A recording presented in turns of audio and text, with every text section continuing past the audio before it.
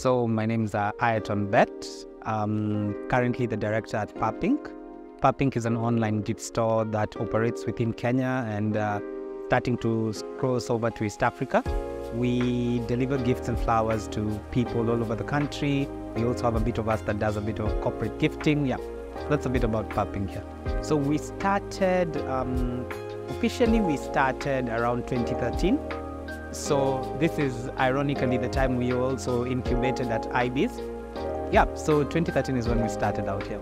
We had about I-Biz as students. It has just started out. I think um, they hadn't even gotten their first cohort in. Um, so we had started doing our business mostly in an unconventional way, selling to students over there. And someone told us maybe you should try get to I-Biz Africa. So we pitched. They used to have a pitch Friday, so every Friday we used to pitch. And uh, the first time we pitched, we did we pitched, we didn't make it, but uh, they told us to wait until we had uh, probably done a holiday and to really understand how we could stretch this gifting. So after finishing off with one holiday, we came back to them, showed, showed them our numbers, pitched again, and this time we actually got in. So that was our story getting into I-Biz. Yeah. With I-Biz, we were able to leverage technology. There was all this noise about you guys should create a website and push a website. So we created our first website there. It was very basic compared to what we've been able to do right now. But actually, that's what set us on the path. And now our website is one of the biggest features about us. So we've gotten a lot of this, um, I can say, income over the years, and it's what we're now leveraging to give our clients better service. So we've really, really continued to invest heavily in technology. We have a very advanced website. We have super tracking for our customers. We we do a lot of crazy things with tech. People are able to send video messages. So this sort of thing has given us a bit of an edge. So we're just leveraging on technology I think a lot of people in Nairobi are trying to do personalized gifts. There's all this rave all over the world about personalized gifting, but most people don't look at the process of creating a personalized gift. So at Purpink, you can literally just go to the website, order your personalized gift. Now, there's always a question customers ask how will I know how it looks when it's personalized? So, what we were able to do was leverage on already tech, and people can create previews of the product with their names so they can actually personalize on the site see how it's going to look, play around with the font, and then order the product. So by the time a customer is ordering, they don't get any shocks. Whatever they saw, they've been able to change their personalization. So it allows the customer to become their own designer and bring it in.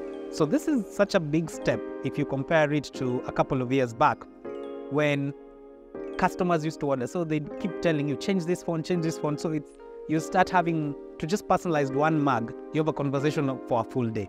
Right now, the customer does it and it's almost instant. One of the other challenges that breaks businesses is financing. I, I mean, that's a crossbone for everyone. Um, we've really had to. So, when we finished I-Biz, obviously there's a support, there's investors uh, that come through, but what they don't talk about is some businesses, especially like us, never get investors as well. So, as compared to the big tech businesses that really completed high fundraisers and everything, we unfortunately did not get. But fortunately for us, it ended up working out better because we were able to find ways to organically grow. So slowly, like haba na haba, pole pole, grow your business. We had to think of ingenious ways to make more money, save more money. And years later, you end up realizing that maybe the companies that got very heavy funding earlier, they've all started collapsing. And the companies that actually organically grew are the ones that will keep growing for the next few years. I feel that one of the biggest effects we have, even to the other incubators in I-Biz Africa, is that it's possible to do it to some extent. I won't say we are super successful, but I'll say we are surviving for the last 10 years. So we might not be getting a lot of things right, but we've gotten a couple of things right. Um, the last thing is, I know it's a bit cliche, but don't give up. Um, very many entrepreneurs actually don't get to actually actualize their businesses because they start an idea, it's really good, they spend some time on it, they hear about a better idea or something someone is making more money on, they leave their idea or they start now changing their idea to sort of get more money. So they sort of give up on whatever they had hopes on and keep changing. So we are looking at expanding into different towns. So I know, and maybe just a hint, we have Mombasa coming up, we have Nakuru, we have Eldoret, we have Kisumu, and we might also have Kampala coming up. So market expansion is just what we're looking at. We'll do it slow, we'll do it in our way. So don't expect anything like big tech where we have 10 branches tomorrow. No, we'll do it small and as we go to every branch, we, we Purpink has done what it's done well in Nairobi. But people in Nairobi are different to people in Mombasa. So as we go to those branches, we will create a Purpink that works for them, not imposing a Purpink that worked in Nairobi.